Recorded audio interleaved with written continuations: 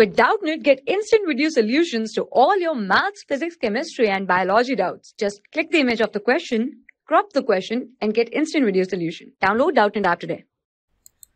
Question is A ring of mass 6 kg and radius 40 cm is revolving at the rate of 300 rotation per minute about an axis passing through its diameter. The kinetic energy of rotation of the ring is what? Let's find out. We know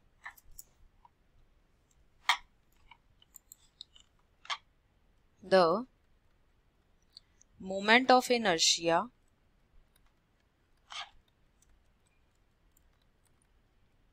of ring about diameter is half m r square. So moment of inertia will be half into m that is 60 kg into r that is 40 divided by 100 square. So moment of inertia will become half into 60 into 0.4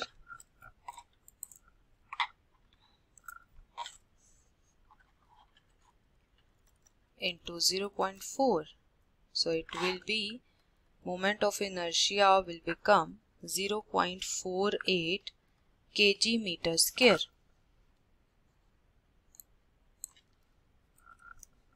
And now we have to find out the kinetic energy of rotation that is equal to half i omega square which is equal to half into i that is 0.48 into omega omega is 300 rotation per minute so it will be into 2 pi divided by 60 omega will become in terms of radian per second square whole square.